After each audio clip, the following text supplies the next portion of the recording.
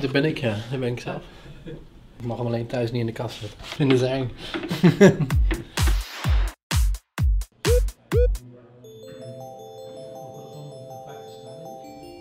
Een patiënt is geen 2D, een patiënt is echt een 3D-wezen. En het grote voordeel van 3D-technologie is dat we echt oplossingen op maat kunnen bieden. En niet meer de standaard oplossingen die voorheen gebruikt werden.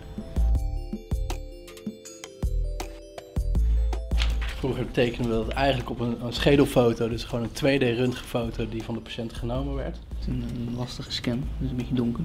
En met de gipsmodellen bepaalden we hoe de tanden op elkaar moesten komen. En dat was eigenlijk de voorbereiding van de operatie. En tegenwoordig bereiden we het helemaal in 3D voor. Mag ik een chillstoel?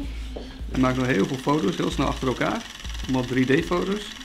En die plakt hij allemaal aan elkaar. En dan krijgen we één 3D-model uh, hoe je tanden eruit zien. Het is veel nauwkeuriger dan de gipsmodellen die we tot nu toe uh, veel gebruikten. Steun je wel? Oké. Wat we doen in ons 3D-lab is dat we eigenlijk alle scans die we van de patiënt hebben combineren. Dus in dit geval de botinformatie met de nauwkeurige tandinformatie. En daardoor kunnen we een virtueel hoofd van de patiënt namaken in de computer. Wat je hier ziet is dat we de bovenkaak alvast losgemaakt hebben, de onderkaak losgemaakt hebben en de kin.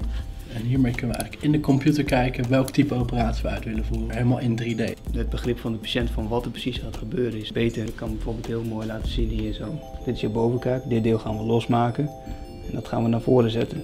Mijn doel is vooral om die technologie in te zetten om echt meer patiënten te kunnen helpen, de zorg beter te maken en de kosten in de zorg te kunnen reduceren.